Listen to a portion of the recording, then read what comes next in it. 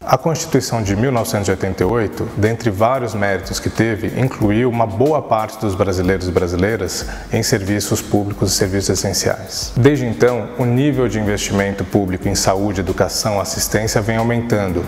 São gastos importantes, reduzem desigualdades e aumentam o desenvolvimento. Mas além do aumento de recursos para essas áreas, é importante falar em qualidade do gasto. Isso significa falar em transparência do gasto, controle social do gasto, prestação de contas. Isso também significa falar em progressividade do gasto, chegar primeiro em quem mais precisa. É importante aumentar a transparência do gasto, não só em nível federal, mas também em nível estadual e municipal. O ideal é que o gasto social seja muito bem feito, que ele renda mudanças práticas na vida das pessoas. O que diz sua candidata, seu candidato sobre isso? O que eles têm de planos para gastos sociais no Brasil?